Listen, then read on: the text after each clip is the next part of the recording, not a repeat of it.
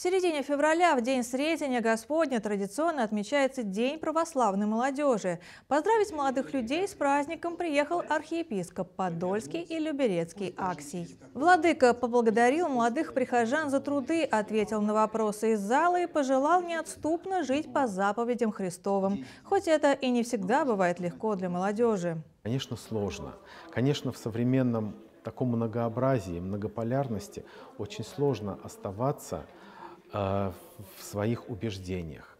Но ведь это поначалу так бывает. А с течением времени очень многие люди увидят, что человек очень твердо свои, стоит на своих жизненных позициях, на своих принципах, и тогда его будут уважать. Конечно, это время.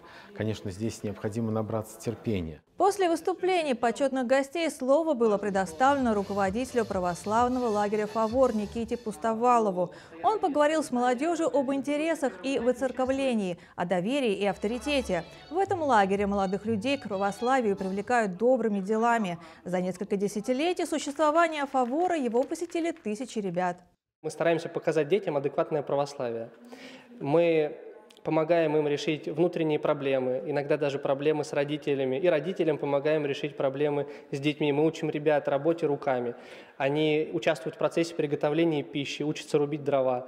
Э, кто-то впервые чистит картошку и режет салатики у нас походы различные проводим. Дети учатся также разводить костры, ходить на байдарках, на собордах, на рафте, в пешие походы. Праздничная встреча продолжалась более полутора часов и завершилась вручением подарков.